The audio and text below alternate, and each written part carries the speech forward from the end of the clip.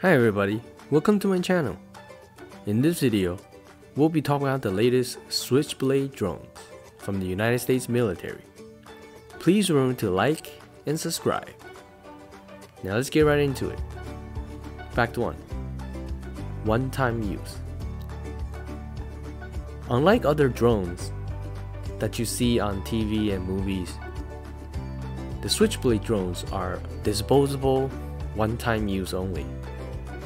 That's why they also have a nickname, the kamikaze drones, because these drones fly directly into the target and explode, and is not intended to be recovered and reused. The sole reason that this is intended is because by making kamikaze one-time use drones, you can use very cheap parts, you can save on a lot of propulsion power because it only needs a one-way trip, and so it could make these drones super lightweight and quickly deployed. That is the whole point of the Switchblade drones, because previously the air support was way too slow, and now it could be carried by field soldiers. Let's get into the next fact. Fact 2. First used in Afghanistan. Despite making recent news about Switchblade drones in the Ukraine fighting against Russia, the Switchblade drones actually saw first combat use in Afghanistan when the United States military went to that country to take over the Taliban and try to install a pro-Western democratic government. Of course, we all know how that went. Eventually, the Taliban still took over. But it is because of the experience in Afghanistan and the general war on terror that the Switchblade drones were conceived and deployed.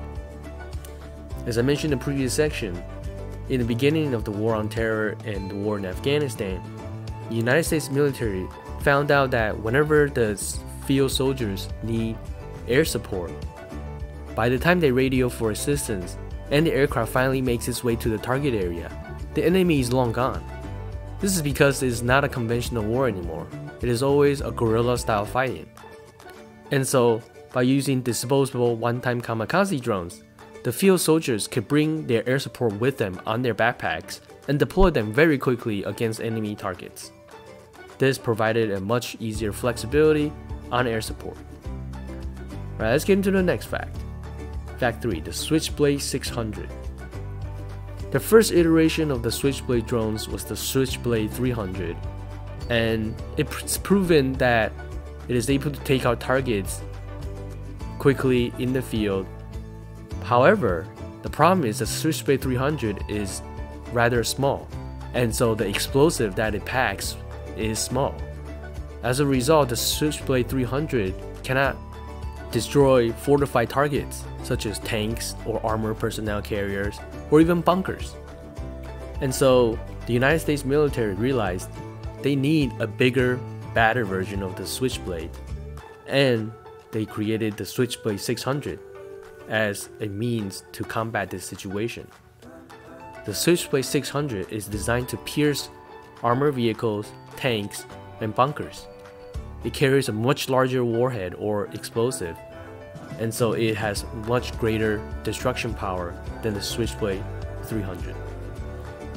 This is likely another learning from the field that the Switchblade 300 was simply too small, too light to make heavy impacts on fortified positions and so the 300 is now evolved into the 600. Great, let's get into the next fact. Fact 4 Maritime Usage. We've been talking a lot about the switchblade usage in Afghanistan, Ukraine, and so forth, but did you know that the United States Navy also has a keen interest in switchblade drones? That's right, the Naval Special Forces have also procured switchblade drones for use in maritime environments. And this makes total sense, because with the Switchblade drone, you could easily fire the drone from a ship to targets that are in remote locations or small targets, for example, a small pirate dinghy or fishing trawler, and destroy them from beyond the line of sight. I think it makes total sense that the Navy needs these type of drones as well, because in a combat situation, you simply cannot wait for aircraft support. you need to deploy right away, and the Switchblade drones provide that solution. Any sailor on a ship could quickly fire off a Switchblade drone, guide it to a target, and immediately destroy it. This is much faster and more efficient for combat situations on sea. Great, let's get into the next and final fact electric engine. I think this is one of the key features of the Switchblade drones which makes it so powerful. In the past, drones were all powered by engines that make super loud sounds as it spins the propellers. The Switchblade drones uses an electric motor which is super quiet to spin the propellers. And as a result, the enemy never hears it coming.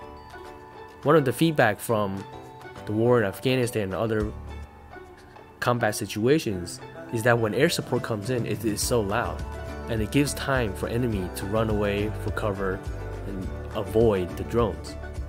The switchblade drones are quiet and really the only time you hear the buzzing sound of the electric motor spinning the propeller is when the drone is about to land on you. And so I think the electric motor is really what differentiates the Switchblade drones from all the other drones in the past, and what makes it so effective because it could be a very silent killer. Alright, that's it for my video today. Thank you so much for watching. Please remember to like and subscribe. See you next time.